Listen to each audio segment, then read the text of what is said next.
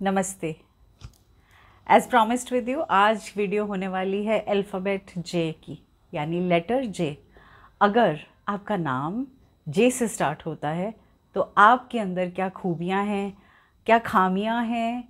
खामियाँ नहीं कहना चाहिए, मुझे कहना चाहिए एरियाज़ ऑफ़ इम्प्रूवमेंट ऐसे कौन से हैं जहाँ पे थोड़ा नॉक नॉक है? इसके अलावा आप अपने आप को कैसे देखते हैं? दुनिया आपको कैसे देखते हैं? आपका पर्पज़ क्या है? आप क्या करने आए हैं इस धरती पे? इन सब के बारे में हम बात करेंगे। वीडियो के एंड तक जुड़े रहिएगा, क्योंकि बहुत इंटरेस्टिंग वाली बातें होने वाली हैं। चलते चलते वन लाइनर ज़रूर आपको देने की कोशिश करूँगी। I am a mother teacher guide and a friend and these are my life lesson I am doctor Neeti Kaushik and welcome to my channel Neetigritty with doctor Neeti Kaushik अगर J की बात करते हैं तो A B C D E F G H I J कहाँ आता है जे जे आता है टेंथ नंबर पे। यानी आप नंबर टेन से गवर्नड हैं। टेन तो मैंने हमेशा मैनिफेस्टेशन की बात करी है। कमाल की मैनिफेस्टेशन आपके अंदर एक, क्या कहते हैं, एक भगवान का दिया हुआ वरदान है टेन नंबर का बिकॉज़ वो आप चीज़ों को मैनिफेस्ट कर सकते हैं। अब ये आपके ऊपर है, बुरा या अच्छा क्या मैनिफेस्ट कर रहे हैं, या क्या सोच रहे हैं, या किस उधेड़ बुन में हैं? दूसरी इंपॉर्टेंट चीज़, अगर टेन की बात करते हैं तो वन प्लस ज़ीरो क्या हुआ? वन प्लस ज़ीरो हुआ one one is for sun और अगर कैलेडियन न्यूमरोलॉजी से देखें तो जे किसके अंडर आता है? जे आता है नंबर वन के अंडर. तो अगेन वन का मतलब क्या है? वन का मतलब फिर से क्या है? सूर्य भगवान सन आपकी लाइफ में सन का इम्पैक्ट बहुत ज़बरदस्त है. सूर्य का इम्पैक्ट बहुत ज़बरदस्त है. तो सन क्या करने आए हैं? सन करने क्या आते हैं? सन बहुत सारी ज़िंदगियों को रोशन करने आते हैं। हमें लाइफ के, कहते हैं ना सोर्स हैं सन। हमारे लिए बहुत कुछ लेकर आते हैं। समय से उगते हैं, समय से अस्त होते हैं। तो एक रूटीन है जिसको वो फॉलो करते हैं, जो भी उनका रूटीन रहता है। इसी तरह से आपकी रूटीन की बात की जाए तो आपका जो फिट या फिक्स रूटीन है, आप उसी के साथ चलते हो। अब हम बात करते हैं नक्षत्रा की। तो अगर हम जे के नक्षत्रा की बात करें तो आप कौन से नक्षत्रा के अंडर आते हैं? आप उत्तर आषाढ़ नक्षत्र के अंडर आते हैं। उत्तरा मतलब हाई उत्तरा मीन्स हायर और Ashadha means someone which cannot be suppressed तो आप और नक्षत्र तो स्टार्स हैं। तो आप कहते हैं ना, जैसे वरदान दिए हुए हैं, आप सप्रेस नहीं हो सकते। राइट और आप ऊंचाई की तरफ़ बढ़ते चले जाते हैं और बढ़ते चले जाना चाहते हैं अपनी ज़िंदगी में। Always aiming towards achieving more aiming towards becoming better अपनी लाइफ में आप आगे ही बढ़ना चाहते हैं। अब हम देखते हैं जे की शेप कैसे है जे की शेप आप देखेंगे जे को एक तो सबसे पहले ऊपर का वरदान है, जैसे मैंने कहा ना, एक straight line and then you find कि ऊपर से नीचे एक लंबा सा डंडा आया और वो हुक की तरह हो गया। जे फॉर जग आज ध्यान में आता है ना जैसे जग का जे, वो हैंडल पूरा पानी, एक गिलास नहीं लेता, पूरा चार से पाँच गिलास पानी उस जग में आता है। यानी आप बहुत सारी चीज़ों को अपने अंदर समेटे हैं, बहुत सारी चीज़ों के लिए, यानी डिफरेंट रोल्स एंड रिस्पॉन्सिबिलिटीज़ आपकी लाइफ में हमेशा रहती हैं। जग की तरह आप काम करते हैं, उन सब के लिए काम करते हैं, यानी इतना सारा अथाह सागर अपने अंदर भरे रहते हैं। अब हम आते हैं थर्ड इंपॉर्टेंट चीज़ पे अब जब हम जे को देखते हैं तो जे का, जैसे मैंने कहा था ना हुक या फिर डंडा, और उसके बाद आगे हुक छोटा सा। तो वॉट डू वी इम्प्लाई समझ क्या आता है? इससे ये समझ में आता है कि जो जे वाले लोग होते हैं ना, वो बड़े इस मामले में बहुत अच्छे होते हैं, बहुत मज़े हुए होते हैं। किस तरह से लोगों को अपने हुक में इंगेज करते हुए उनको अपनी अपनी तरफ़ से जो दिखाना चाहते हैं वो दिखा पाएँ। मतलब आप लोगों के अंदर ये कमाल की काबिलियत होती है कि आपको जिसको जो दिखाना है ना, आप अपने तरीके से वो दिखा ही डालोगे। सेकंड इंपॉर्टेंट थिंग जो बहुत मज़ेदार है, वो ये है कि जैसे कहते हैं ना, सीधी उंगली से घी नहीं निकलता। उंगली टेढ़ी करनी पड़ती है। तो हम ऐसे ही करते हैं ना, उंगली को, सीधी उंगली से घी नहीं निकलता, उंगली टेढ़ी, है ना? तो बिल्कुल वो जे वाली शेप बन जाती है ना, उंगली टेढ़ी करते ही। तो जब जे वाली शेप बनती है तो यानी आपको पता है कि कैसे घी निकलेगा। आपको पता है कि कहाँ से क्या मुझे काम कैसे करवाना है। ये हर किसी में काबिलियत और ये हर किसी में गुण नहीं होता। इसलिए आपके अंदर ये स्पेशल वाली कहते हैं, ऊपर से दी गई बख्शीश है, भगवान से दी गई नयामत है आपके अंदर। ये this is your trade this is your quality अब बड़े डेयरिंग किस्म के लोग होते हो किसी भी सिचुएशन में कूद पड़ते हो और आपको लगता है, ये तो मैं कर ही डालूँगा या डालूँगी, मेरे लिए आसान है, मैं कर सकता हूँ या मैं कर सकती हूँ। और बहुत अच्छी चीज़ ये है कि आप ऊपर वाले से इंस्पिरेशन लेते हो। देखा था ना, ऐसे, और उसके बाद स्ट्रेट लाइन एंड जे तो आप ऊपर वाले से इंस्पिरेशन लेते हो और वो इंस्पिरेशन ला के उसको यूज़ कैसे करते हो जो ह्यूमैनिटी के लिए जहाँ ज़रूरत है किस तरह से ज़रूरत है, आप उसको उस फॉर्मेट में यूज़ करना जानते हो। ये एक अनोखा आपके अंदर कहते हैं ना ट्रेट है या क्वालिटी है। आपकी एम्बिशंस बहुत हाई होते हैं। सूर्य से गवर्नड हो नंबर वन से गवर्नड हो टेन से गवर्नड हो तो ऑब्वियसली आपके अंदर एम्बिशंस इतने स्ट्रांग होंगे। आप हर चीज़ों के, की ऊंचाई तक जाना चाहोगे। और ऊंचाई तक नहीं, और कमाल की चीज़ यह है, आपके सामने कोई भी प्रॉब्लम आ जाए, आप उस प्रॉब्लम की डेप्थ तक भी जाते हो और वो जे की तरह डेप्थ में जाके और उसको जगल करते हुए चीज़ों को और आप उस के अंदर से सॉल्यूशंस निकाल के, उस प्रॉब्लम को समझते हुए उसका सॉल्यूशन निकाल के ऊपर निकल के आते हो।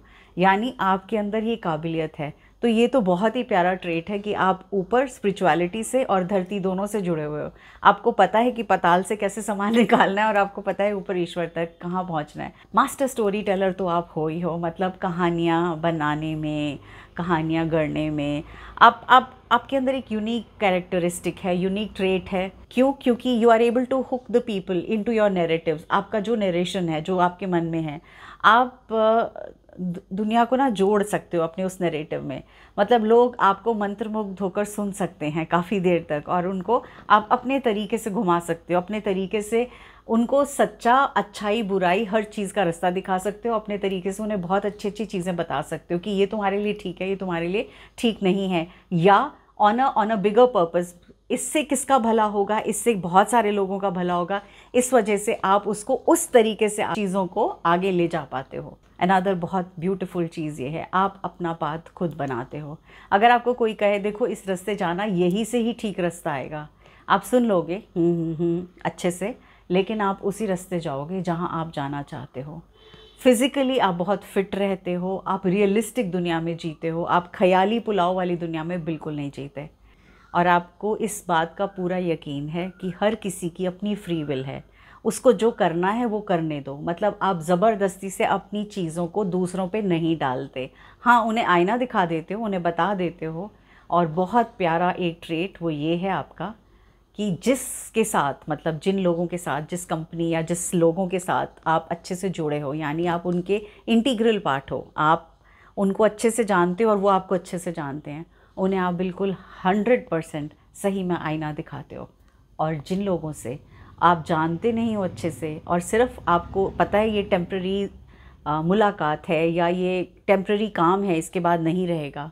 आप मीठी मीठी बातें करके, चिकनी चुपड़ी बातें करके, आपका मन सिर्फ़ ये होता है कि काम हो जाना चाहिए और आप उस काम को अंजाम देते हो। अब हम थोड़ी सी बात करते हैं नेगेटिव ट्रेड्स की। तो सबसे पहली वाली चीज़ आप जिस भी काम को स्टार्ट करते हो ना, उसे अंजाम ज़रूर दिया करो। आप बीच में थोड़ा सा छोड़ देते हो, क्यों? क्योंकि आपका मन भटक जाता है कुछ और, कुछ नया कुछ नया। तो आप at the same given time आप तीन से चार चीज़ें कर रहे होते हो तो फिर वो सरफेस पे रह जाती हैं। जिस काम को स्टार्ट करो, उसे अंजाम दो, फिर दूसरे पे घुसो। ऐसा करने से आपके लिए फ़ायदा होगा। क्यों? क्योंकि आपको ज़्यादा अच्छे से सेटिस्फैक्शन होगी। अब आते हैं हम दूसरे पॉइंट पे।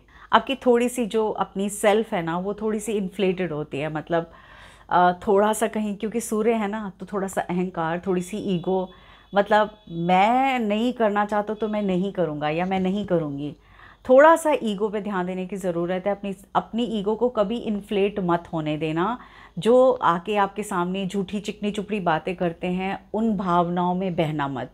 आप थोड़े टाइम के लिए बह जाते हो और फिर बाद में रियलाइज़ करते हो कि मैं मैं बह गया या बह गई तो वो आपको नहीं करना है।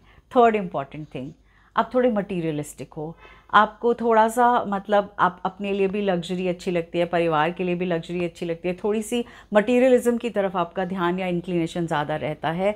हर बार ज़िंदगी में मटीरियलिज्म ही सब कुछ नहीं है। आप इस बात को भली भांति जानते हो और जब आपको अपनी स्पिरिचुअलिटी से कनेक्ट करना होता है, आप कनेक्ट भी करते हैं। आपको बड़ा अच्छा लगता है कि लोग आपको प्रेज़ करते रहें, आपके बारे में अप्रिशिएट करें और उस वजह से जब आपको थोड़ी ज़्यादा प्रेज़ मिल जाती है, ज़्यादा अप्रिसिएशन मिलती है तो आप अपने आप को मतलब उस कहते ना, सबसे ऊपर वाली कुर्सी पे बैठा हुआ पाते हो। और उस वजह से आप कई बार उस सेल्फ़ के अंदर जाने के बाद आपके लिए उस सेल्फ से बाहर निकलना थोड़ा सा प्रॉब्लमेटिक हो सकता है। कई बार आपकी स्पीच बहुत डायरेक्ट होती है। जैसे कहते हैं ना, सुबह का सूर्य और शाम का सूर्य बहुत खूबसूरत लगता है, लेकिन दोपहर का सूर्य बहुत ज़्यादा इच्छी लगता है। गर्मी है, धूप है या बहुत तेज़ चालीस, पैंतालीस या पचास डिग्री टेम्परेचर हो तो नहीं झेला जाएगा ना। ऐसे ही कई बार आप नहीं समझ पाते हो, आप बहुत ब्लंटली कुछ चीज़ों को कह डालते हो, वो आपके लिए नुकसानदेह हो सकती हैं। दो चीज़ों से, लास्ट में दो चीज़ों से आपको ध्यान रखना है, एक तो डिसऑनेस्टी और एक जेलसी दूसरा भी आगे बढ़ रहा है, बढ़ने दो, दूसरे आगे जा रहे हैं, जाने दो।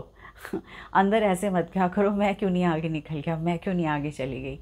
जब भी आपके मन में इन सारे नेगेटिव ट्रेट्स में से कोई सा भी ट्रेट हिट कर रहा हो, कुछ दिनों से लगातार तो समझ जाइएगा कि ये टाइम है जब आपने अपनी उंगली ज़्यादा टेढ़ी कर रखी है।